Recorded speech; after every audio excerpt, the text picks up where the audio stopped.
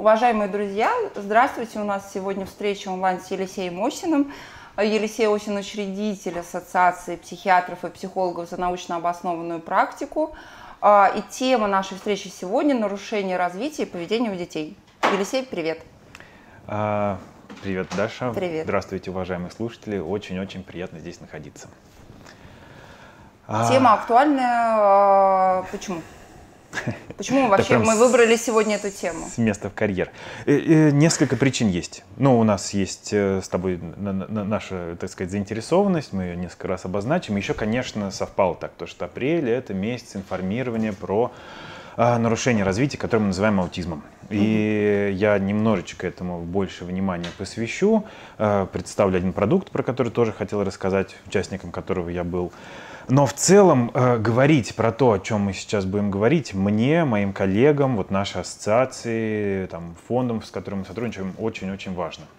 Мы видим то, что проблема нарушения развития, нарушения поведения у детей и подростков недооцененная, э, есть всякие разные трудности, и видим то, что это можно решать. И это mm-hmm. решается. Решается с помощью Министерства здравоохранения, с помощью отдельных инициатив, с помощью фондов. Тоже немножечко про это поговорим подробнее и больше. А для кого наша встреча подойдет? Кому она будет интересна?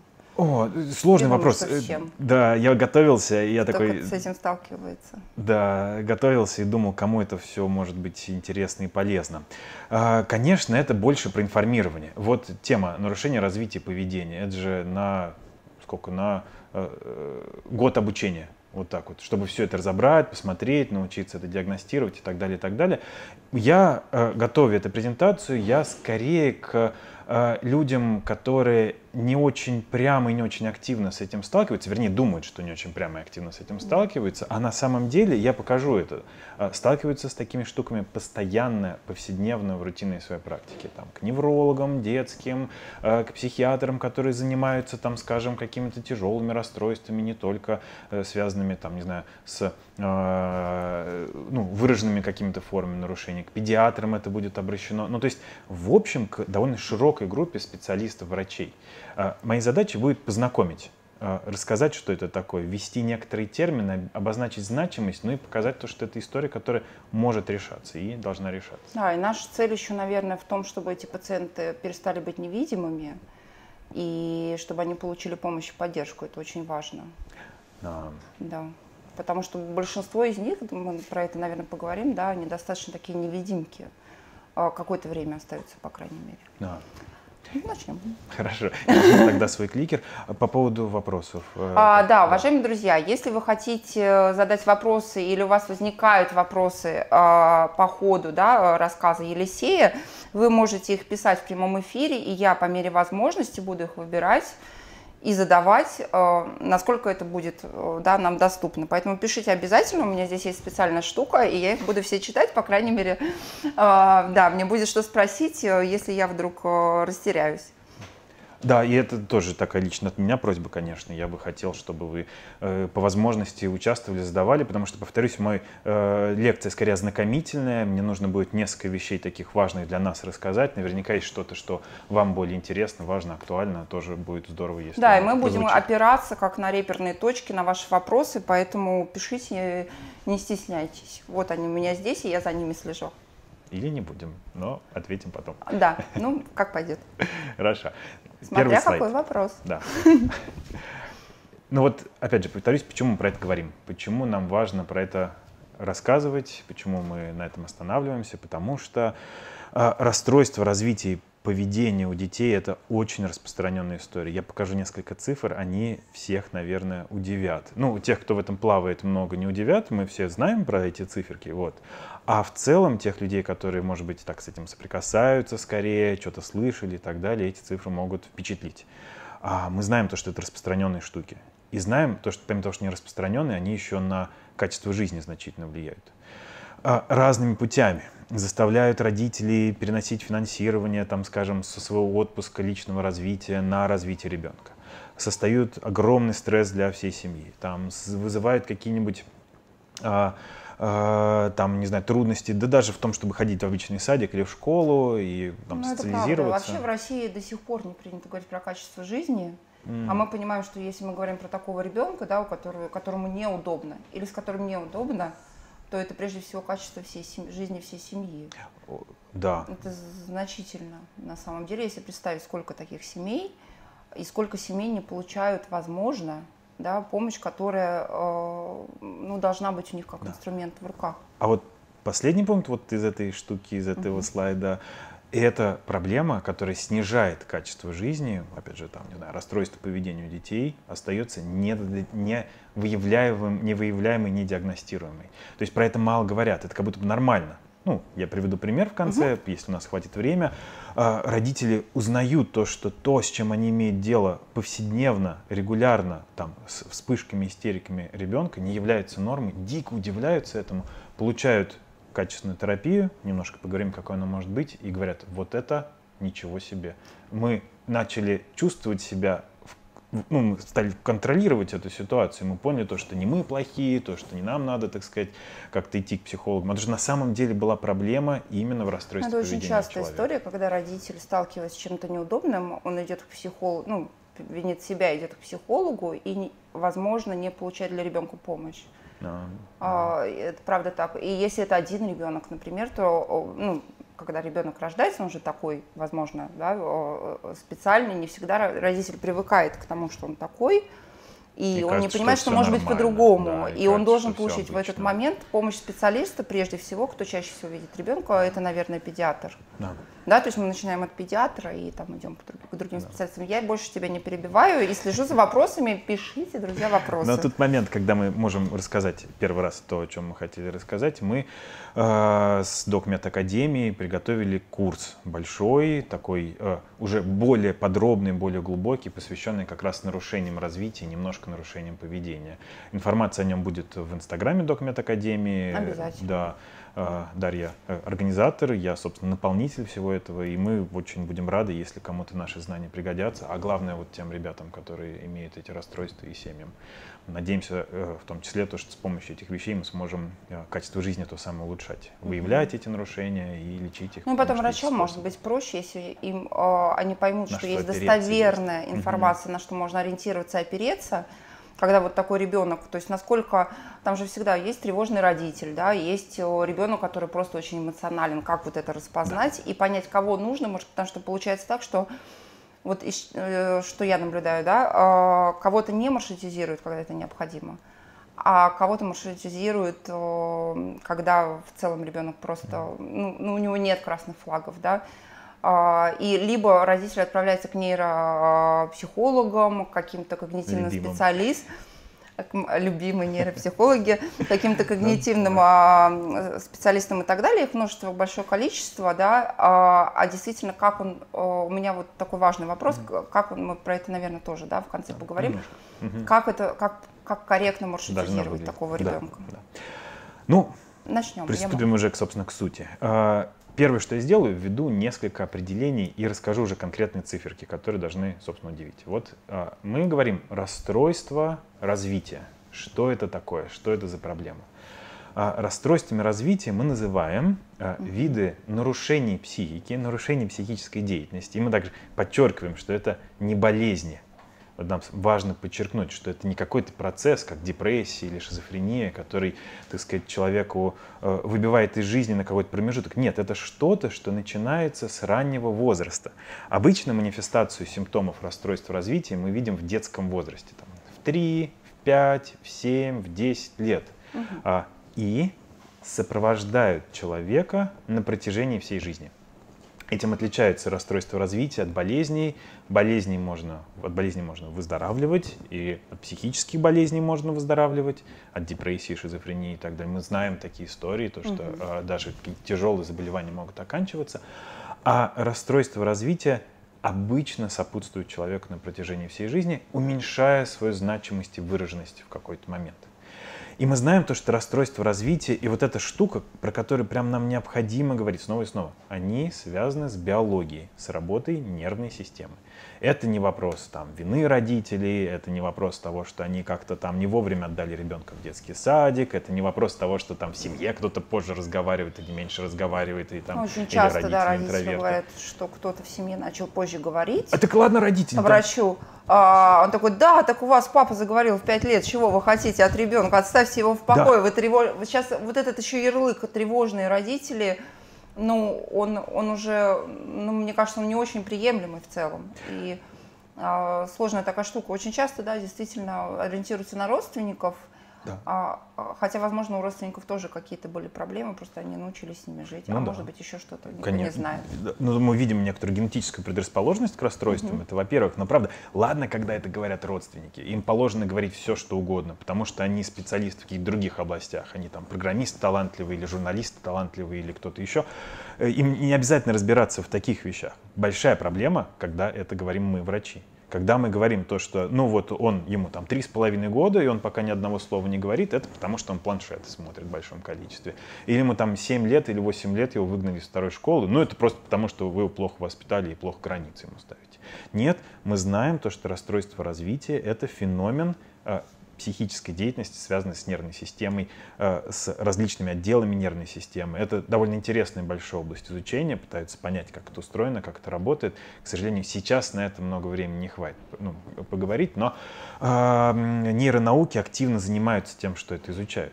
Собственно, диагностика расстройств развития э, — это выявление дефицитов.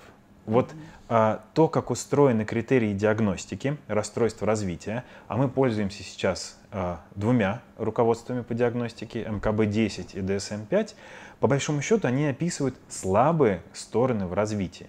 Там нет ни слова про причины, там нет ни слова про какие-то там, я не знаю, механизмы, которые это вызвало. Там есть описание того, как выглядит развитие человеком с расстройством, ну, вот с этим расстройством да. развития.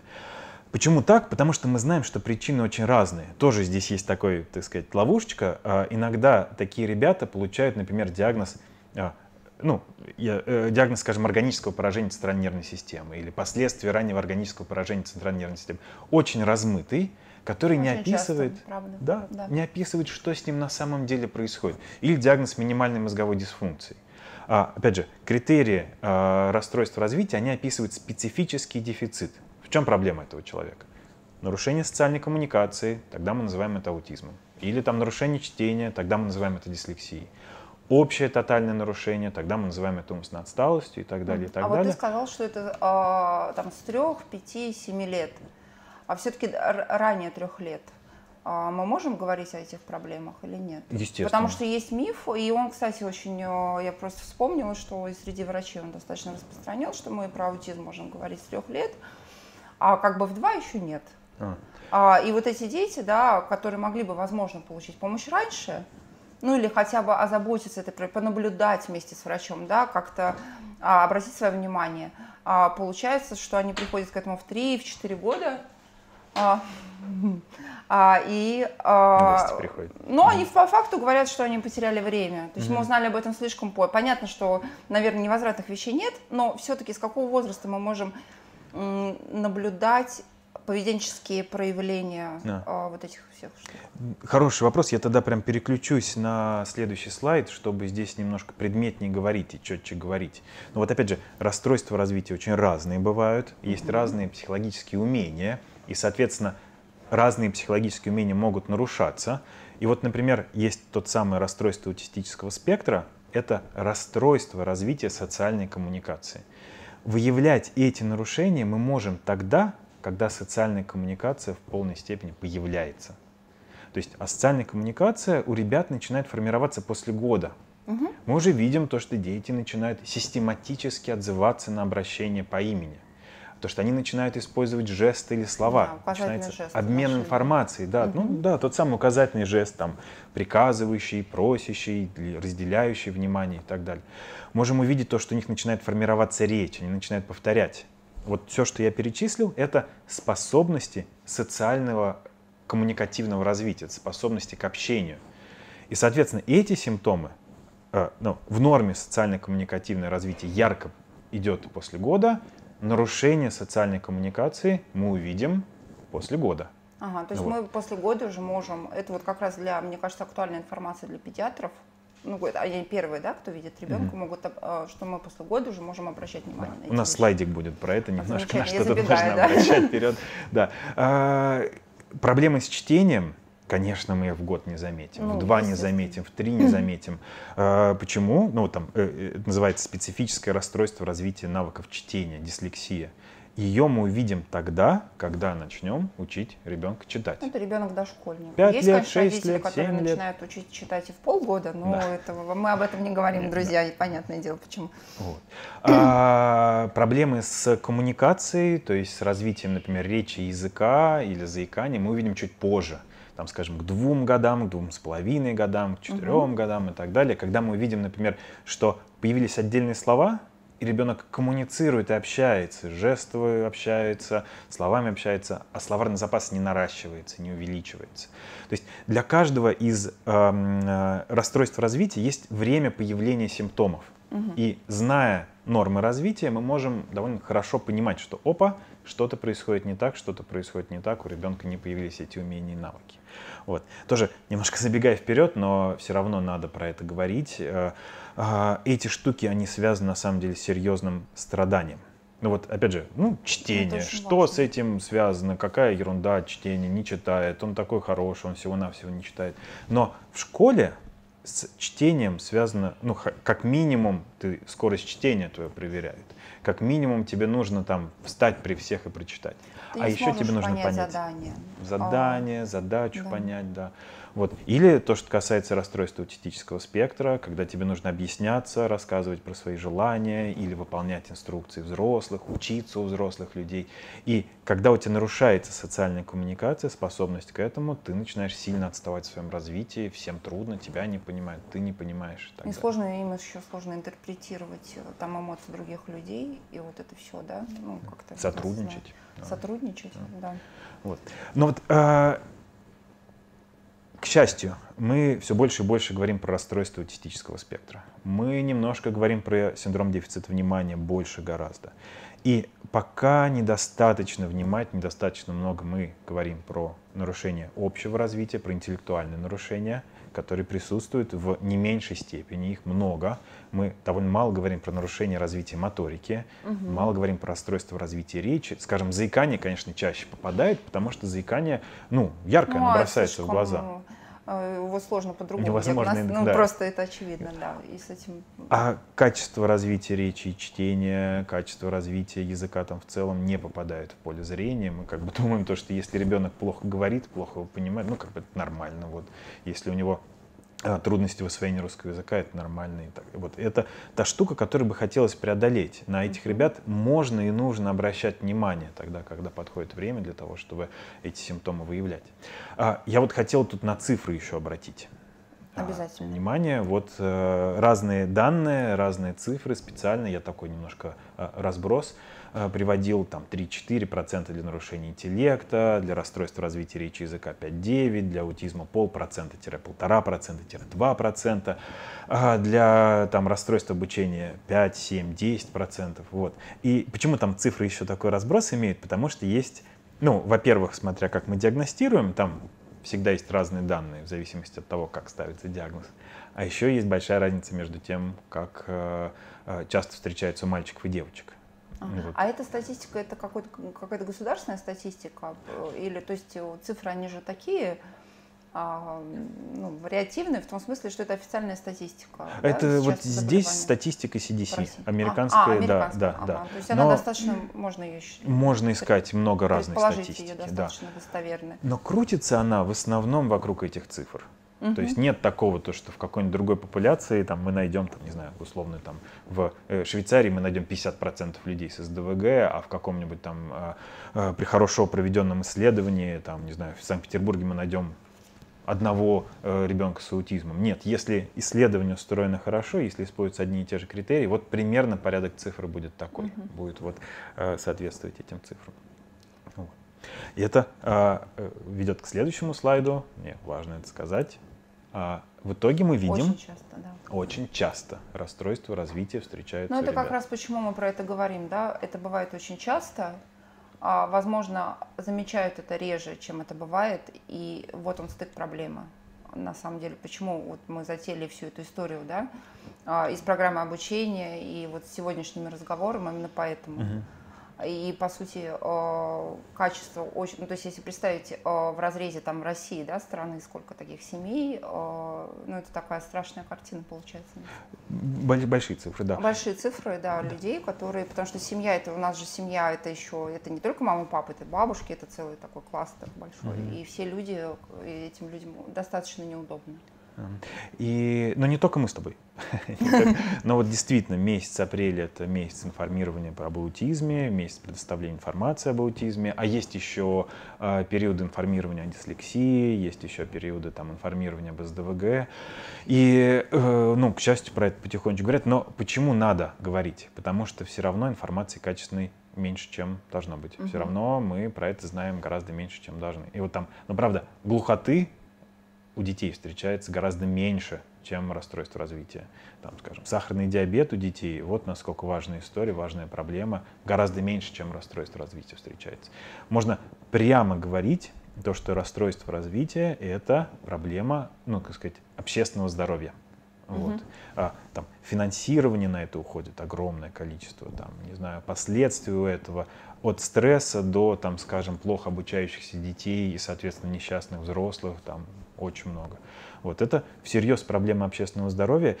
А, и вот а, там тоже, почему надо про это говорить, почему мы про это говорим, почему вот там всякие эти курсы обучающие проводятся и а, потребности в этом. Многие коллеги мои, там, ну, вот я проводил курс в Санкт-Петербурге, посвященный расстройствам аутистического спектра. Там, когда казалось, что это интересно, и вдохновились мы все на то, чтобы это делать. И э, один из лекторов э, рассказывал, угу. э, он преподаватель в медицинской академии Санкт-Петербургской, он работает с ординаторами, и он рассказал, а потом проверил это на аудитории. Он сказал, вот знаете, я задаю своим ординаторам следующий вопрос. Сколько времени у вас в институте было посвящено конкретно аутизму? Сколько времени у вас в институте было посвящено конкретно нарушение активности внимания, синдром дефицита внимания, гиперактивность. Ну, там, уже не говоря про дислексию или умственную отсталость. И, так. и многие говорили, полтора часа. Вот, ну, по сути, у врача и нет инструмента, то есть нет каких-то вспомогательных костылей, да, которые могли бы, помогли бы ему разбираться. То есть ему приходится либо самообразовываться, но, собственно говоря, зачем мы здесь, для mm-hmm. этого тоже, да, а, то есть, и, ну, это, кстати, хорошая тема, что это не проблема врачей, это, ну, на самом Подготовки, деле, конечно. Да, образование. Да. Мы не, не говорим да. о том, что там кто-то плохо или нет. Нет, ни в коем случае, ну, конечно. конечно, нет. Но да. полтора часа это просто, ну, это, а это иногда вообще невероятно, невероятная цифра. Да. По сравнению, то есть, если мы посмотрим на цифру полтора часа и вот на эту один из 80, угу. мы понимаем, да, что вот эта пропасть, да. Она глобальная, да. да. А касается это и педиатров, и неврологов, ну, собственно, там медсестер, которые работают с детьми, обеспечивают патрон. Ну, то есть это много-много кого касается. Да. Вот это, а, повторюсь, проблема общественной значимости, про нее нужно много говорить, чаще говорить, и это, конечно, будет жизнь людей менять к лучшему. Мы так надеемся. Вот это, Пусть это случится, да. Да, первая история. А, расстройства развития часты и разнообразны. У людей есть умения психологические. Эти умения психологические должны формироваться, ну, мы ожидаем формирования в определенные сроки. И иногда этого не происходит. Например, ребенок не начинает пользоваться речью в 2 года, не начинает или очень плохо читает в 7 лет, там плохо овладевает математикой, в целом очень медленно развивается. Это касается большого количества детей, и знать про это необходимо. Это называется нарушение развития или расстройство развития. По-английски это developmental disorders. Ну, у нас до сих пор есть мифы среди врачей, что до трех лет молчит, и это нормально, особенно если мальчик.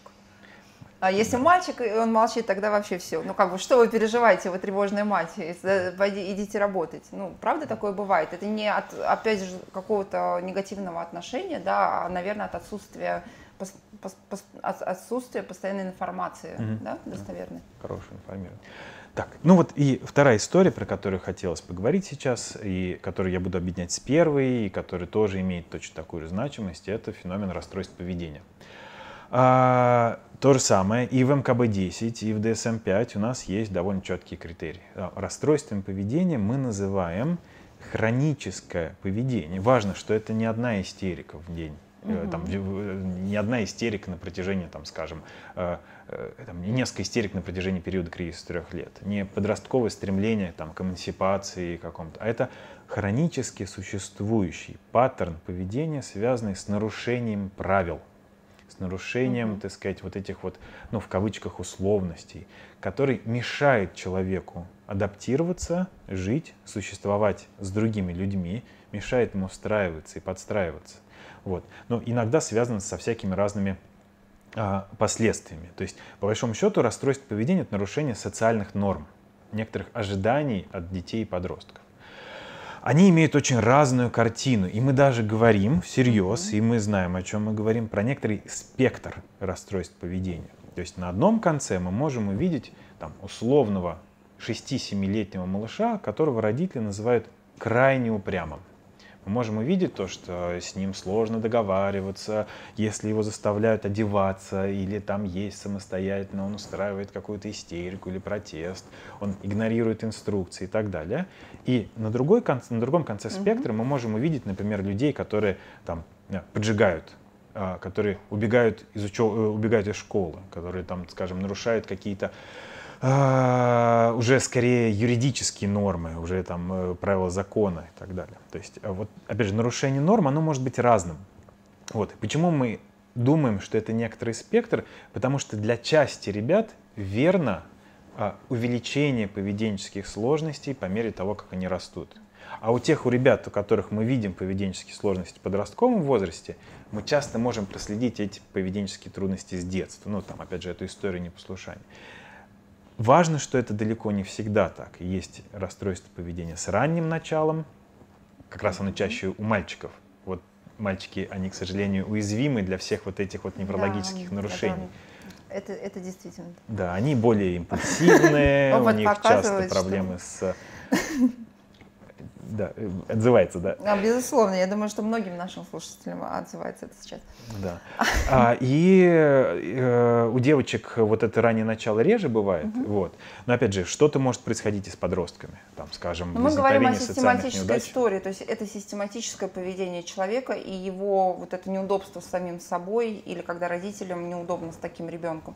То есть это не когда ребенок там периодически, да, ну просто имеет какой-то... Заплакал на домашнем задании. А, Нет, своенравный характер, есть же такие дети, да, и вот эта вот э, граница, она мне лично кажется достаточно тонкой.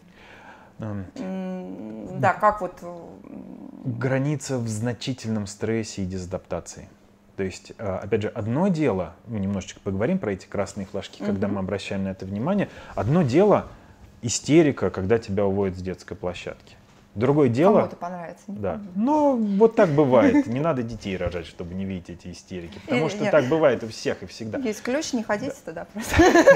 Другое дело, если эта истерика происходит каждый день на протяжении многих месяцев. Бывают просто ситуации, а. которые взрослому или врачу кажутся а, бытовыми, ну, там, я не знаю, кружка не того цвета, да, а для ребенка это значимый фактор. И, наверное, вот, вот, вот эти вот тоже, да, и, а, ну, вот, вот эта грань, она кажется действительно такой вот. Ну вот мы видим то, что в норме э, люди могут, и мы с, вот с тобой, и э, э, дети могут адаптироваться. Угу. То есть, ну, важно, чтобы кружка была та конечно, важно. Безусловно. Хочется, чтобы она была та. Но иногда это не получается. Иногда она в мойке, иногда она где-то еще и так далее. И э, ну, условное свойство здоровой психики это все-таки подстроиться под эту ситуацию. Времени, не ломаться. Да, не, так сказать, времени ребенок не. То есть симптом не усиливается. Становится более гибким, да, да mm-hmm. начинает это принимать и так далее. А здесь мы видим хроническое нарушение правил. Здесь мы видим то, что вот опять же те обычные способы воспитания, там, ну давай потом, чуть-чуть попозже, ладно, сейчас мы ее помоем, достанем, это не работают. Угу. Вот. Опять же, с подростком, ну кто не убегал из школы? Ну, многие убегали из школы, это нормальная история. Но когда мы видим то, что это происходит снова и снова, приводит к проблемам, то есть он не просто убегает из школы, а он, например, там, употребляет алкоголь или наркотики, он попадает в тяжелые истории, там, раз за разом он оказывается в каких-то сложных компаниях, в которых чуть ли его не насилуют или ее не насилуют. То есть вот с такой дезадаптацией связано угу. расстройство поведения. Это не просто, там, не знаю, подросток, который э, сделал себе татуировку с помощью чернил, ну вот сделал и сделал, ну ничего страшного, ну там отвели его к тату-мастеру, сделали нормальную татуировку. Нет, это история нарушенной адаптации, это история поведения, которое сильно разрушает. Э, выделяют разные виды расстройств поведения. Там есть так называемое оппозиционно вызывающее расстройство поведения, взрывное расстройство поведения, там, а, расстройств поведения там, в целом, когда вот эти социальные нормы уже юридически нарушаются и так далее. Есть то, что мы называем синдром дефицита внимания и гиперактивности. И вот, да, опять же, что важно сказать, это частая история. Вот. 2-9% а, детишек и подростков с этим сталкиваются. Почему такой разрыв? Угу. Мальчики, девочки. Вот. А, полтора-два процента девочек, 9-10% мальчиков имеют расстройство поведения. У подростков мы видим, снижается эта интенсивность, выраженность расстройств поведения, становится меньше. А, и часто бывает сопутствующее расстройство, часто бывают сопутствующие какие-то проблемы, там дислексия, те самые нарушения развития, опять же, часто у мальчиков, чаще у мальчиков, и масса сопутствующих историй, в которые ты попадаешь из-за того, что у тебя есть расстройство поведения. Есть, например, ты прогуливаешь да. школу, ты прогуливаешь ее не просто так. Ты можешь прогуливать ее в компании, прогуливая в компании, ты начинаешь употреблять алкоголь. Употребляя алкоголь, ну, кто-то попробовал и перестал. А у некоторых это становится зависимостью. Угу. Они начинают рано... Ну, это получается следствие уже связанный с расстройством поведения феномен. Или да, вот происходит та самая трагедия, например, тебя насилуют, или ты становишься свидетелем какой-то там, так сказать, там, правонарушения, у тебя развивается симптом посттравматического стрессового mm-hmm. расстройства или депрессии. Вот это тоже важная история, почему про расстройство поведения мы говорим, потому что это имеет большое значение для жизни а, носителей и тех, кто окружает их. Вот, это может затрагивать Получается, она большое количество как людей. ком, да, и это просто нужно разворачивать. Да. Там какие-то вопросы приходят, Даша? Или... А, нет, там есть один вопрос, который я задам позже обязательно. Хорошо. Анастасия написала, мы его зададим. Да, спасибо. Вот. А, это э, тоже такой важный момент. Э, расстройства поведения существуют они существуют с высокой распространенностью. Они могут оказываться в кабинете у психологов, там, у педиатров, у э, там, не знаю, у психологов, у тех людей, которые вообще могут быть и даже не занимаются проблемами расстройств Назовем развития. Специалистов. Учителей, они mm-hmm. тоже с этим, естественно, сталкиваются. Вот. И знать про то, что это существует не как э, феномен плохого воспитания или не как все мальчики такие, или не как, а, а, что там еще говорят? Ну, перерастет. Да, вот именно там перерастет, перебесится. А так же прям реально говорят, вот приходит мальчик или Проблемы там, девочка, там, да, типа, вот и он на приеме начинает драться с родителями. Вот так как это так? Вот, и как все там обсуждают это. Я сталкивался с этими обсуждениями, например, во всяких разных врачебных группах педиатрических. Он там ударил маму. Ну, как нехорошо. А родители никак не отреагировали. Ну, как нехорошо. А это еще же... говорят, что вот родители еще в этот момент поссорились. Ну, понятно, почему ребенок почему так себя случилось? ведет. Да. А, а чего? А ну, мы имеем есть... дело с симптомом а расстройства. По факту, да, по факту да. родители ссорятся, потому что они настолько выгоревшие от этой истории, когда с ребенком очень неудобно, очень долго, это тяжело, что это тоже может быть следствием, да, не восприниматься как причину. О, да, совершенно верно. Да, там тоже уровень э, нарушений настроения. Мы будем, я чуть-чуть коснусь, к сожалению, я не успел про это прям специально много, ну, не получится про это специально много рассказать, но вот есть э, программа Всемирной организации здравоохранения, направленная как раз на преодоление дефицита помощи. Угу. Они составили, называется MHGAP, они составили такие прям планы, как нужно работать с поведенческими расстройствами, как нужно работать с нарушением развития. Чуть-чуть я процитирую, буду на них опираться. И вот а, поиск психопатологии у родителей, например, депрессии или посттравматического стрессового расстройства, это один из компонентов лечения нарушений поведения у детей. Mm-hmm. Надо всегда задавать про это вопросы и помогать родителям находить помощь для себя в том числе.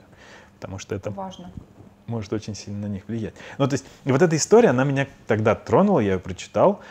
Там было много какого-то эмоционального возмущения, недовольства родителями, вот они как-то себя повели и так далее, и так далее. Но вот, но, но... мне тоже подобное встречалось, когда э, очень сильное недовольство идет именно в сторону родителей да. детей с ну, нежелательным поведением. Я, я, да, я пытаюсь подобрать слово, которое покажется мне более уместным, ну, с нетипичным поведением. Да? Я не хочу говорить с особенным, ну, вот с поведением, которое ярко может отличаться. Не вписывается, да. да. Ну, забежал, например, все выкинул со стола, чего-то э, там э, полез куда-то на полке, там не отреагировал на обращение, ударил папу с мамой, там взял очки а мама учителя. в этот момент делает, ходит и делает вид, Несчастная. якобы, что она не замечает. Да. Да. И, а по факту это такое неосознанное, возможно, да. поведение у родителей. Вот. Там, не знаю, невролог, педиатр наблюдает поведение, приписывает его там, знаю, воспитанию или чему-то еще. На деле, повторюсь, это симптом. А это примерно как если бы э, там, не знаю, педиатр разворачивал бы памперс, смотрит, там, там не знаю, грибковое наложение, что это такое, почему вы плохо моете ребенка или что. Вот, ну, то есть начинает думать то, что симптом расстройства является на самом деле дефицитом угу. ухода. Вот, а нас, тут нет, нет, нет проблемы ухода, тут мы опять же видим какую-то патологию, с которой нужно помогать справляться. Мы должны про это, мы должны про это поговорить, мы должны обратить внимание на это. Мы должны сказать, ребята, это не то, так не должно быть, так, э, э, это симптом нарушений. Вот. Угу. Идем дальше. Да, хорошо. И вот, э, собственно, первая часть, она была посвящена моя задача была рассказать то, что есть вот такие феномены, которые мы называем расстройство развития и расстройство поведения. Расстройство развития имеет очень большую биологическую природу, неврологическую природу. Расстройства поведения имеют сильную биологическую природу. Не всегда еще какую-то роль может играть окружение, социальное окружение, школьное окружение, mm-hmm. особенно когда проблемы подростков начинаются там, не знаю, когда они попадают в какие-то сложные ситуации или в группы какие-то сложные, и там тоже есть эта биологическая штука. Вот, они, эти вещи существуют, и мы должны на них обращать внимание. Связано с нервной системой, ага. с работой нервной системы. Ну вот самый простой пример – импульсивность. Импульсивность – это характеристика нервной системы, с которой ты рождаешься. Ну, как на психологии, вот меня на психфаке учили, что темперамент – это врожденная вещь, и а. ты с ним рождаешься, и никуда от тебя не деться. А, да. а, собственно говоря, правы были люди. Да. Ну вот э, импульсивность – это одна из важных черт темперамента. Иногда она такая сильная, такая большая, что дезадаптирует, мешает жить, мешает существовать. Вот, было важно сказать, что это существует, и было важно а, как бы на это помогать людям обращать внимание. То, что Нет, не все то, что вопрос мы видим. недооцененный да. на самом деле, да, если вот посмотреть на чистоту, это сразу бросается в глаза. Да. Вот. А вторая история, это, собственно, о чем надо было говорить. Ну, вот как нам заподозрить, как нам заподозрить, что что-то происходит не так, ну, вот да, эти самые вот, красные флажки. Угу. Это то, что как раз даст сейчас опору да, тем врачам, которые нас смотрят, угу. возможно, да, и хотят разобраться, если еще не разобрались, то это как раз, наверное, хорошая вещь. Да. Но, может быть, они уже разобрались, это вы все да. знают. Да. А, что мы знаем как э, красные флажки? Во-первых, это отклонение от норм развития. Угу. То есть, опять же, тут важно немножко представлять себе нормы, важно про них э, знать, и это примерно так же важно, как нормы по весу и росту.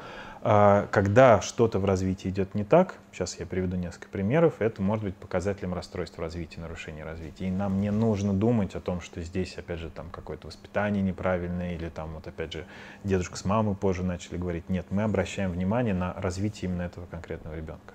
А вторая история — это вот какие-то сложности в адаптации. А, когда мы видим, что ребенок снова и снова оказывается за чертой, когда он оказывается вне ситуаций. Об этом часто говорят родители, когда приходят там, не знаю, к условному педиатру или неврологу. Они говорят, ну слушайте, нас опять выгоняют из школы, у нас опять двойки, тройки у нас почему-то совершенно не получается учеба. У нас уроки длятся по 6 часов, мы делаем домашнее задание по 6 часов. Вот это те самые сложности с адаптацией, которые могут говорить о том, что что-то происходит не так. И стресс. Там, когда родительство доставляет страдания, нам надо думать, нет ли здесь чего-то большего, чем просто, там, не знаю, какая-то маленькая компетенция родителей или маленькая компетенция э, тех, кто этого ребенка воспитывает. И это тоже видно. Это тоже видно и на приеме у невролога, и на приеме у mm там, психиатра, и на приеме педиатра. Уставшие родители — это часто симптом того, что что-то идет не так, что-то не то. Mm-hmm. Вот. И вот несколько примеров. Какие красные флажки расстройства развития бывают? Я специально выбрал а, связанные с аутизмом в начале, а в конце не только связанные с аутизмом. То есть, например, а, отсутствие реакции на обращенную речь. ребенку год и два, год и четыре, Ну, год то и есть шесть. года мы уже обращаем на это внимание. Да, мы знаем то, что после года начинает формироваться понимание речи. Если этого нет, значит, нам надо беспокоиться, вероятно, что-то с, Мгм. раз- с развитием мы имеем не так. А, не используют указательные жесты или другие жесты, то есть не формируется коммуникация. Она... Ну, кстати, вот этот жест, вокруг него тоже много мифов, потому что а, а если он изолированно, да, ну, возможно, родителям или... э, то есть это, эти симптомы, они должны, могут существовать... э, какой мой вопрос? Изолированы друг от друга? Или все-таки это должна быть какая-то совокупность? Потому что вокруг э, этого жеста там ребенок не использует жест, при этом Мгм. ребенок хорошо общается, поддерживает зрительный контакт, а, там в год, да, это невозможно сделать усилием воли. Да. Потому что я знаю, что дети даже в 5, 6 и 7 лет, которые а, неосознанно не держат зрительный контакт, некоторые усилием воли, Мгм. они знают, что это нужно сделать, и это, ну, это заметно, да? Но здесь Но речь, год да, ребенок- здесь речь про красные флажки. Мгм. Любой из этих красных флажков это, повод, разбираться. Я поэтому и спрашиваю, да. Это повод То есть разбираться. даже изолированные, это, это, это важно, деле, Да. даже изолированное отсутствие указательного Может жеста. быть, мы не будем иметь дело с аутизмом. Вполне возможно, будем иметь дело с расстройством развития Мгм. речи языка. Или с глухотой. Или там, я не знаю, действительно с объединенной средой, там, где нету какого-то возможности у ребенка развиваться. Нам всегда нужно обращать на это внимание и думать, вероятно, что-то происходит не Да, то так, что-то повод, идет не опять то. же, Э, задуматься. Да. Вот. А. Когда дети старше, мы можем смотреть на развитие речи. Когда дети еще старше, мы можем смотреть на развитие там, академических навыков. И я вот повторюсь, и это для меня, для нас, вернее, для психиатров очень важная история. А, наличие отставания в развитии – это повод исключать расстройство развития. Это не повод махнуть рукой, ну просто он такой, просто у вас лоботряс растет, просто вы мало им занимаетесь. Иногда это проблема медицинская, а, требующая, соответственно, медицинских решений, там, не знаю, а, социальных решений. А, И то же самое существуют красные флажки для расстройств поведения. Это интенсивные длительные истерики, когда истерика длится не 5, не 10 минут, а 30 или 40 или час. Вот. Это э, импульсивное поведение, это невнимательность, расторможенность, импульсивность. Это, то есть тогда, когда ребенка не получается останавливать, ребенка или подростка. Это высокий уровень агрессивного поведения. Тогда, когда... Ну, агрессия это хорошо даже в каких-то ситуациях. Агрессия нужна для Ну, того, чтобы защищаться. ну, да, адекватная реакция, если она в, В норме, контексте, да. да. если она происходит и несет функцию, там, скажем, защиты или какого-то там доминирования, но если это естественная, ну, как бы э, э, не специфическая реакция на самые разные проблемные истории, тогда мы думаем, что агрессия это неправильно. Там, не знаю, условно, дерется в детском саду, на площадке и дома, и каждый раз это происходит. И не получается этим справиться, с этим справиться с помощью каких-то э, расстройств, э, с помощью каких-то действий наших. Э, сниженная способность переносить фрустрацию. Ну, это как раз когда ребенок плачет над домашними заданиями по много часов. Мгм. Это тогда, когда необходимость завязать шнурки или пойти на э, какие-то несложные спортивные занятия вызывает у него интенсивное горе. Ну, вот так, как будто прям родители говорят, «Ну, убивают меня, убивают его, он прям мучается и страдает. Понятно, нужно разбираться, понятно, нужно посмотреть, может быть, у него просто это все очень не получается, или ему не нравится и так далее. Но это тоже важный симптом расстройств поведения, неспособность переносить фрустрацию, неспособность терпеть. Вот. И вот, собственно, а, нарушение правил. А, Существуют правила, мы не жжем вещи, не жжем вещи чужие. Ну. И пару раз э, поиграть с огнем, наверное, ничего. Там, я не знаю, как-то очень хитро поджигать спички на балконе, наверное, ничего. Но если это привычное стойкое поведение, Но если ты- основной, вот я обратила внимание, что ты постоянно говоришь о том, что это систематическая история. И это, наверное, да, это такой ключевой достаточно момент, а, что это не ребенок, который по- поба- Они так и говорят, а, ну мы побаловались это немножко, ну как бы, ну, то есть они понимают, что есть как бы норма, есть как бы то, где они побаловались. Это нормальная история. А когда это систематичес- Мгм. систематическое нарушение каких-то вот объективных, да, именно объективных вещей, там, поджигать квартиру, очевидно, ребенок в 7 лет должен понимать, что это м, не должно Да, случиться. и вот здесь еще очень интересно, что эти поведения часто происходят в контексте, вот эти нарушения правил. Например, мы всегда можем задуматься, а, вот он поджигает, он там условно поджигает на пустыре, поджигает на пустыре там покрышки или что-нибудь такое. Это первое, окей, наверное, это неправильно, так, наверное, не надо делать. Следующий вопрос, а почему он там? Мгм. Почему он не в компании с ребятами? что происходит у него в общении, почему он делает это, там, почему он не там, в спортивной секции, почему он прогуливает в этот момент школу. Очень часто расстройство поведения происходит в контексте социальной дезадаптации. Там, скажем, вот подросток, который, там, опять же, условно мучает животных, очень угу. часто делает это всерьез один, и он одинокий у него нету компании для реализации, там, не знаю, каких-то нормальных желаний, там, развлечений, удовольствий и так далее. Он вне групп, он вне общения, вне контакта находится. И это э, повод, чтобы ну, внимательно ну, думать и смотреть. Флажки, да, которые тоже можно обратить да, да. И это может быть одним из симптомов расстройств поведения, mm-hmm. тогда, когда в других областях у человека не получается функционировать. Вот.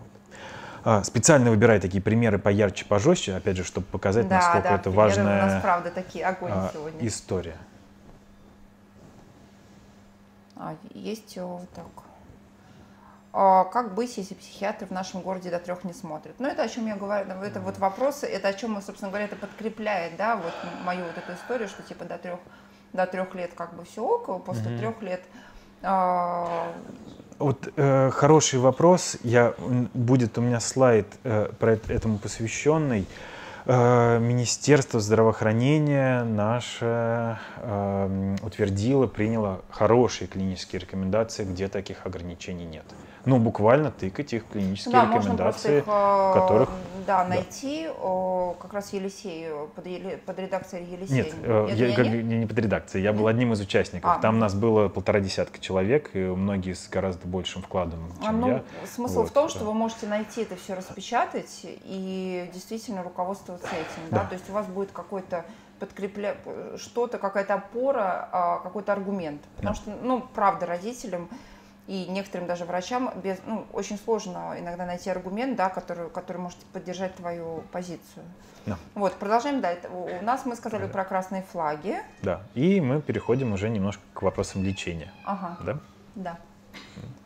А, что-то еще там какие-то вопросы? А здесь есть, а. здесь есть э, такой вопрос э, про специализ... Вот, наверное, это мы говорили как раз про э, выгорание родителей и про то, что с такими детьми действительно сложно. Здесь есть вопрос про существуют ли в России специализированные дома отдыха для, mm. для родителей детей с раз, где родители могли бы отдохнуть и, получить и дети родителей психологическую помощь. Oh, а, я бы расширила даже этот вопрос, да, э, существуют ли в принципе такие места, Uh-huh. да, куда родитель, э, потому что очень часто такие родители получают осуждение А, и от врачей, и от медицинских работников. Ну, то есть сталкиваться с постоянно. Почему они делают вид, что почему они делают вид, что э, неосознанно, да, что ничего не происходит? Да. А, если а ребенок бьется там час, да. врач уже сходит с ума, хочет их выгнать, а мама ходит и говорит по телефону и. Да. У нас э, нету, к сожалению, вот эта вот э, интересная услуга, которую там иногда называют там отдых, там передержка, там что-то такое, вот ну, возможность действительно отдохнуть. Угу многие родители, буквально скрипя сердце, отдают детей в психиатрические больницы для того, чтобы это произошло. То есть они понимают то, что помещают их в какие-то плохие условия, а психиатрические больницы в целом и в России в частности, это часто не самые хорошие условия. Это не те условия, в которых детям, подросткам нужно находиться, просто для того, чтобы так немножко отдохнуть. И такая, казалось бы, немножко очевидная история, что можно э, помогать угу просто с организацией отдыха, вот здесь есть ну, пункт, как это лечить, она у нас до сих пор ни разу-то не существует. Финансируется что-то другое. отправлять таких детей вообще все психиатрические учреждения. Ну, да. как бы, типа, они направляют, к сожалению. Да. Да, и, ну, по сути, да, вопрос, это вопрос на господ, может быть, есть какие-то там вопрос на господдержку, да, что такие какие-то вещи должны формироваться, но их нет. Да. А, к сожалению, вот ответ так, вопрос, э, на вопрос, он такой достаточно печальный, и, собственно говоря, это еще одна причина, да, почему мы все время, почему мы здесь же про это говорим, потому что ну, тема явно недооцененная, это, наверное, область, в которой нужно много менять. Да. И, и мы стараемся это делать, и мы сделаем это. И не только мы, есть да, еще нет, несколько не проектов, мы, про которые а, мы сейчас да. Да, обсудим, поговорим.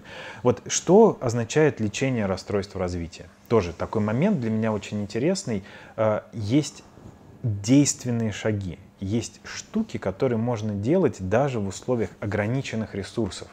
штуки, которые можно проводить, даже когда по большому счету кажется, что ничего нету. Угу. Вот. Там, мы знаем то, что нарушение развития, там, условно нарушение чтения требует работы э, там, специалиста по чтению, специалиста по дислексии. Но где такого найти? Э, найти сложно, там мало кто это умеет или кто хочет это делать. Там.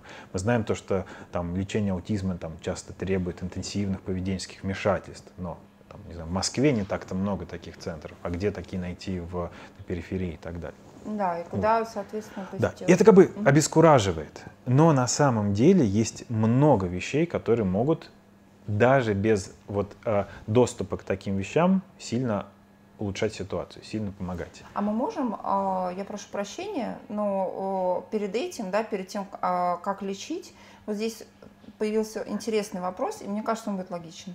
А, пишет нам педиатр и спрашивает, была бы благодарна за маршрутизацию таких пациентов. Вот как раз перед лечением. Вот педиатр. Поговорим про первичное звено. Это вот столкнулся с красными флагами, которые мы описали. Mm-hmm кому лучше, полезнее, скажем так, не лучше, полезнее, маршрутизировать ему такого ребенка. Ага. Потому что очень часто по опыту они попадаются к совершенно разным специалистам. Либо родитель выбирает кого-то сам, какого-то когнитивного терапевта, кинез, кини, mm-hmm. а, кинестезиолог, в общем, да. все поняли, что, кого я имею в виду. А, и таким образом теряется эффективное время. Но вот э, когда говорим э, э, маршрутизация этого пациента, опять же, тут все разные пациенты. Если мы говорим про расстройство развития, мы имеем дело с разными нарушениями. Угу. Я приведу пример, то, как это работает в области аутизма. Что у нас уже сейчас есть и сделано в области аутизма. А, во-первых, есть масса качественной информации. И вот психообразование — это первый пункт, угу. которым мы можем заниматься. Понятно, мы должны, вероятно, если мы заподозрили на приеме там, наличие аутизма или какого-то ну, похожего расстройства, отправить да. психиатру. То да. есть первый, кому я, я э, вижу ребенка и не уверена, это красный, ну, это да. красный флаг или нет. Не, ну мы уверены, что это красный флаг. Ну, что там, да, он не а, реагирует ну, на имя. Да, красный или, флаг и красный например, флаг. Э, там я прошу там, показать, там, я не знаю, какую-то игрушку, указать да. на жест, ничего нет. Нам я, надо разобраться. Да, я, я настораживаюсь, потому угу. что мы сейчас говорим о настороженности, о дополнительной настороженности, которая должна быть. А, я настораживаюсь как педиатр а, и отправляю к психиатру. Да. Первый. И вот даже чуть Не меньше, да, да, да, чуть, э, э, э, чуть раньше даже. Вот этот первый пункт из лечения нарушений развития мы можем заниматься психообразованием. Угу. Просто сказать родителям, ребята, что-то неправильно есть такое явление, которое называется нарушение развития. И вот сейчас я наблюдаю красный флажок. Уже психообразование. Угу. Вот. Есть более подробные материалы, специально приготовленные для этого психообразования. Например, то, о чем хотелось мне рассказать, вот в этом апреле подготовленный инфосет «Аутизм это». Если педиатр у маленького ребенка увидел красный флажок, он может просто дать ссылку на вот этот ресурс. Его ну, сделал фонд ресурс, «Выход», да, да э, сделал там с Союзом педиатров, э, ну, большое количество партнеров в этом участвовало, это прям большой-большой проект.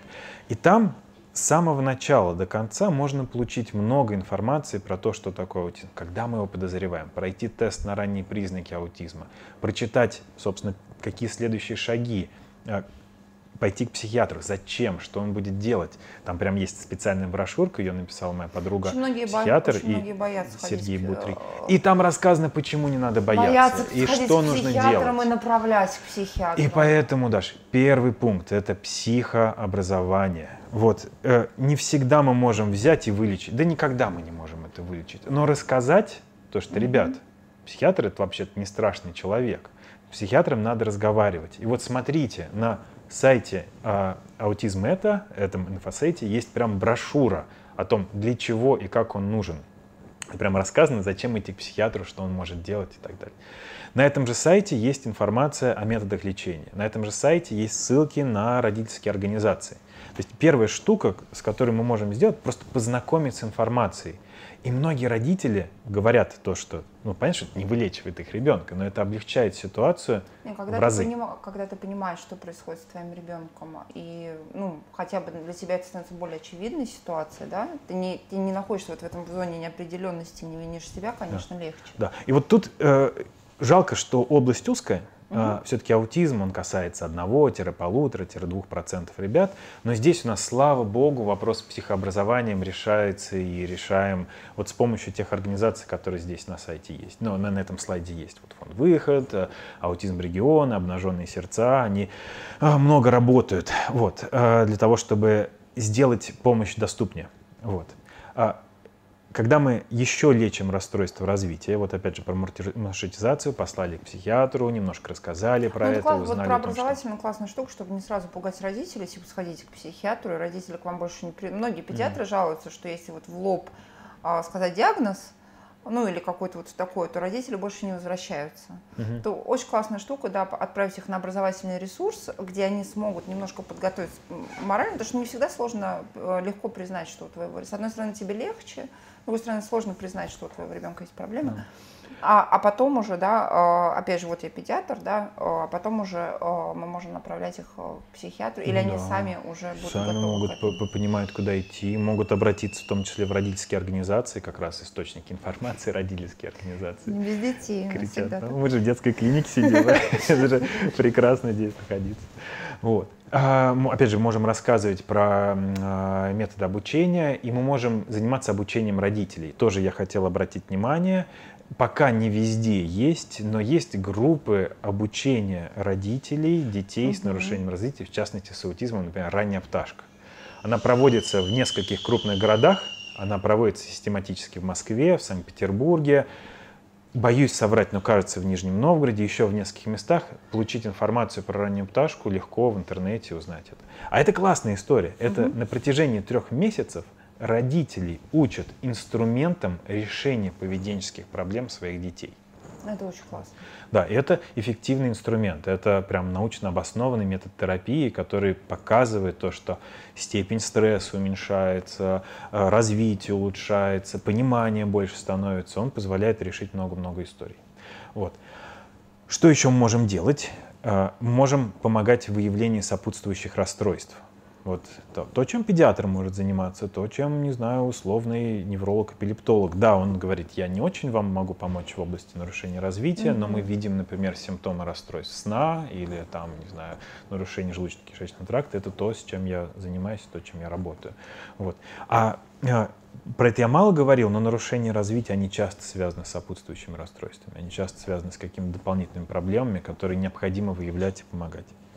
Вот. И, наконец, очень внимательно нужно относиться к семьям. Ну, вот мы с тобой тысячу раз про это сказали, надо тысячу первый сказать. Семья, конечно, в стрессе тогда, когда у ребенка нарушение развития. Даже если это нарушение чтения – ну, то есть, когда они по 3-4 часа занимаются тем, что читают с ребенком, а он плачет дело даже не, не только в образовании. Э, ну, как бы чтение, оно же везде, это вывески, это ориентация в пространстве ребенка, если он там да, растет, да. да, это там, условно говоря, сходить в кафе, и, чтобы он смог выбрать по меню.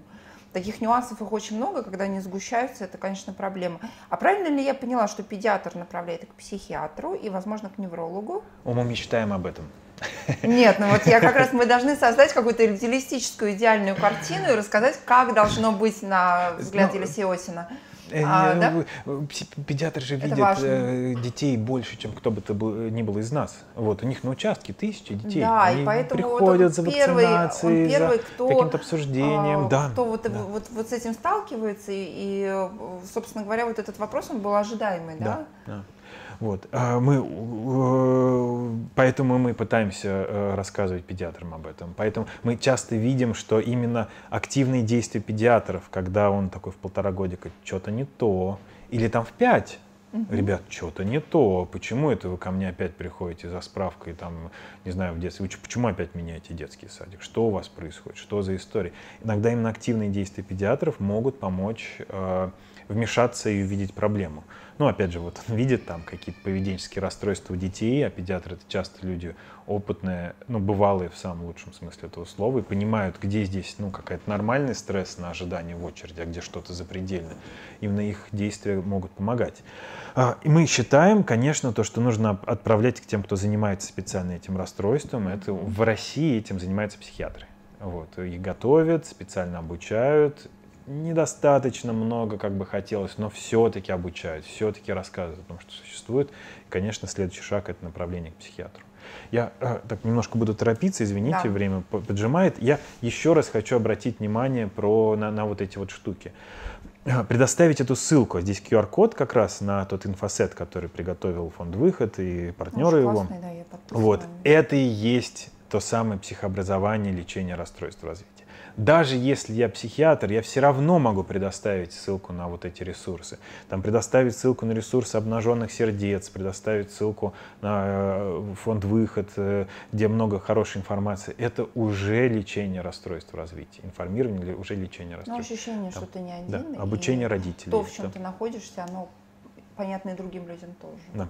Потому что очень часто, ну, в садике и в школах очень часто таких родителей массово э, шеймят там ребенок, там родители ребенка, который постоянно дерется, находится в аду. Ну, на самом деле, я несколько раз mm. наблюдала подобные ситуации. Да? да, я думаю, как раз, кстати, э, и когда он встречает, э, так сказать, понимание у педиатра или у невролога, врача, и врача, это, это, да, много значит. Он говорит, ребят, скорее всего, мы имеем дело не с вашими, так сказать, проблемами, скорее всего, мы имеем дело с нарушением поведения или с расстройством развития. И вот есть такой феномен, опять же, то, о чем мы хотим рассказывать, есть такая проблема, и э, надо э, этим заниматься. И немножко так уже э, прям к концу, что мы можем делать в области расстройств поведения, то же самое. Э, тоже рассказывать. Это не нормальная история. Вот эти, тот стресс, который вы испытываете, скорее всего, связан не с вашими низкими компетенциями или с чем-то еще, он связан с тем, что у вашего ребенка расстройство поведения. Есть книги, э, не все хорошие. Ну вот, mm-hmm. например, очень хорошая книга, которую я часто рекомендую, называется «Магия на 1, 2, 3». Она описывает способ э, э, реагирования на проблемное поведение, которое является эффективным. То есть мы можем тоже обучать родителей. Здесь я уже не могу давать ссылки на какие-то конкретные группы, просто потому что они, к сожалению, очень редко проводятся, но тоже есть группы, обучающие родителей, вот мы там буквально увидев ребенка, который дерется, родить не слушается их, мы можем говорить, это расстройство поведения. И вот смотрите, есть, например, такая книга, можно вот это. Вот.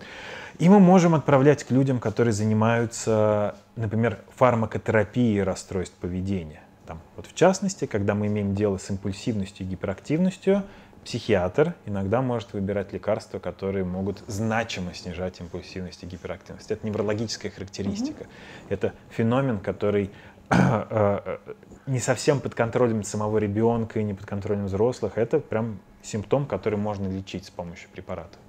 И еще важным компонентом лечения нарушений э, поведения будет забота о семье. Вот стресс в семье колоссальный, очень часто стыд, страх, гнев, ненависть. Психопатология в семье часто тоже очень высокая, начиная с того, что у родителей детей с СДВГ, с расстройством поведения, у самих может быть СДВГ. Достаточно часто, кстати, да? Ну, мы думаем, ну, примерно в половине процентов случаев угу. у кого-то будет.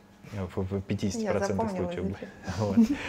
И еще мы можем э, обращать э, Э, внимание, ну вот действительно иногда на какие-то не э, прям опасные воспитательные практики, которые родители используют, с ними обсуждать как минимум их вред. Ну там, не знаю, условно бьет для того, чтобы остановить прогулы, ничего хорошего из этого точно не выйдет. И угу. там говорить в русле психообразования, то, что это такая штука, с которой нужно чего-то делать. И там, и там на каждом из этих слайдов про лечение расстройств есть э, контакт с обучающими организациями, со школой и с детским садиком. Тоже важная история. То есть а бумага от врача, пускай и педиатра или невролога, может помочь а, в создании специальных условий. Это одна из рекомендаций того самого там, Всемирной организации здравоохранения а, налаживать контакты с образовательными учреждениями, врачам. Ну, демонстрировать. Да, я прошу прощения, я прям тебя перебью. Да. Интересная история недавно произошла на моих глазах. Ребенок был ну, как бы это, опять же, выразиться, надо придумать более такой релевант слово, с нетипичным поведением, достаточно очень ярким, агрессивным, которое мешало всем в саду. И а, в итоге получилось так, что ребенка отправили на комиссию, ну, типа мама или там семья, да, отправились на комиссию, длительность этой комиссии там условно полтора месяца. И все эти полтора месяца, все люди, которые вовлечены в этот процесс, конечно, они реагируют по-разному, не будем там описывать, как они правильно реагируют или нет, они находятся вот в такой ситуации, когда фактически они не получают никакой помощи. Ну, то есть это так действительно государственная система устроена, либо эти люди могут пойти, например, к педиатру, который их маршрутизирует. Мы, допустим, мы говорим про госсистему, mm-hmm. да, он там как-то дает направление к психиатру, это можно сделать быстрее, то есть э, вот, вот опять же про маршрутизацию вот со стороны учебных учреждений как обычно это устроено. Да. Ну, вообще, конечно, тут этот э, разрыв между э, временем подозрения То и постановкой полтора месяца. Господи, в некоторых комиссия... странах по много месяцев, по полгода, ага. по году нужно дождаться, чтобы получить какие-то качественную диагностику. Есть проблемы нехватки специалистов в области психического здоровья, не только для России характер. Может, даже в России с этим лучше.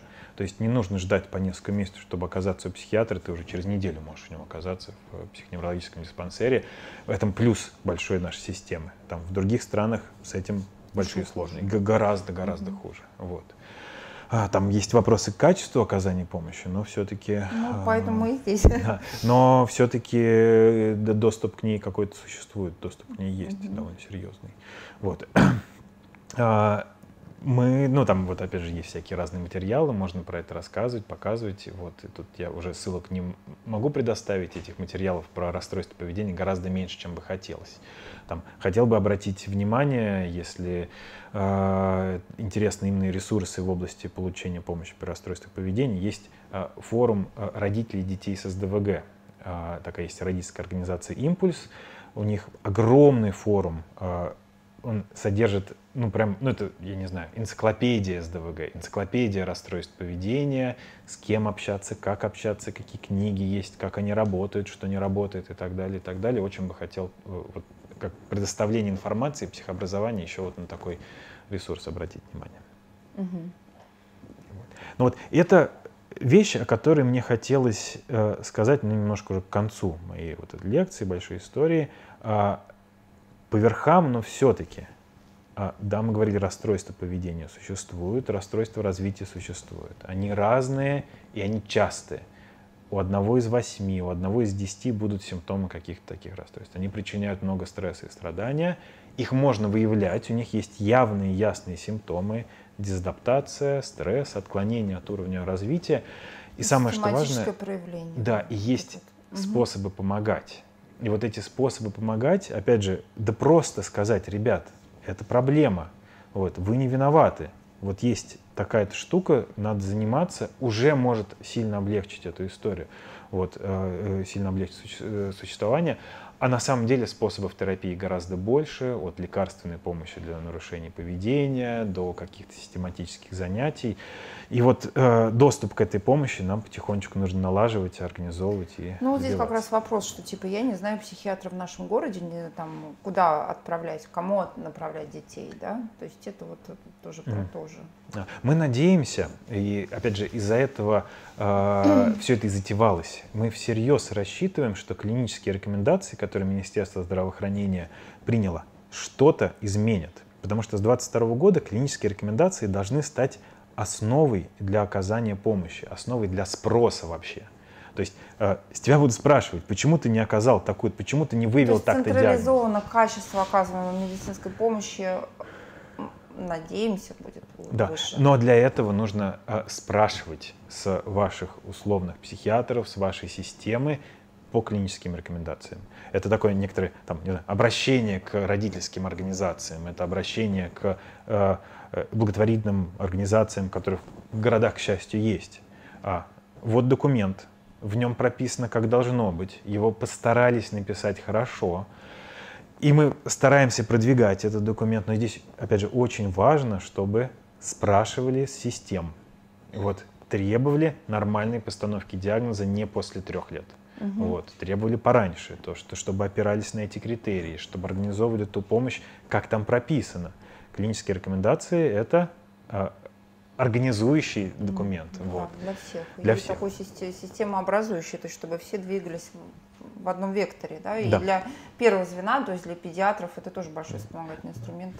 И вот мы надеемся, что это можно вот именно таким образом, то есть Минздрав в кавычках сверху, мы, так сказать, сбоку, изнутри, и да. там люди, которые в этом нуждаются с другого боку, мы сможем это раскачать, мы сможем заставить эту систему неповоротливую, сложную работать. Да, и измениться. Так, про лечение мы сказали. Что у нас еще осталось? Ну, я со своей вот э, презентацией знакомлюсь. А, я думаю, да, я с вопросами тоже закончила. Мне кажется, мы, э, основная наша идея да, была в том, что необходимо к этой теме привлекать как можно больше внимания, потому что это частая история, и она недооценен, недо, недооцененная. Угу. Да? Да, и еще дико интересная. И дико интересная. А, да. Ну, собственно говоря, все вопросы мы обсудили.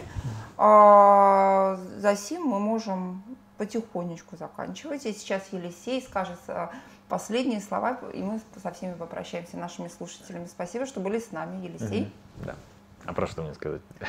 Не знаю, что-нибудь хорошее, одобряющее хорошего ну, дня. Хорошо. Господа. А, понял, понятно. Спасибо вам большое. Очень э, приятно было здесь находиться и про это рассказывать. Нам а, вот тем, кто вовлечен в область психического здоровья, психической патологии, а, возможность говорить об этих проблемах ну, важна. Вот эта осведомленность, неосведомленность, неделя осведомленности не случайно возникают. Мы пытаемся говорить на разные аудитории, а, там, с людьми вот, э, с э, там, не знаю, с э, рекламных плакатов иногда обращаются люди, которые рассказывают о своих проблемах, с а, врачами пытаемся там говорить мы и другие там врачебные ассоциации, с родителями пытаемся обращаться, но про это правда важно знать. Если есть какие-то э, э, ну, там, не знаю, штуки, требующие внимания большого, это вот все вещи, связанные с расстройствами развития и поведения, и ну, классно хотя бы возможность это озвучивать, хотя бы возможность про это э, всерьез вслух говорить.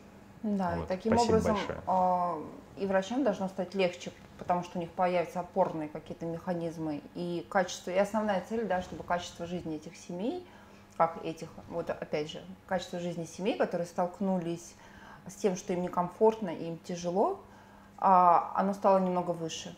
Причем центрально, да, потому что мы, если говорить про центральный регион, то я думаю, что в нем а, ситуация гораздо лучше, чем по всей России, а, собственно говоря, вот эти рекомендации, какая-то централизованная история, она направлена как раз на улучшение общей ситуации.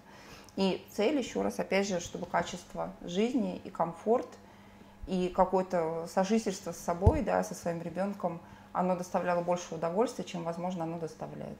И всем было бы легче. И врачам, и пациентам, и мы все вместе. Вот мы с Елисеем сидим вместе, я, собственно говоря, не врач.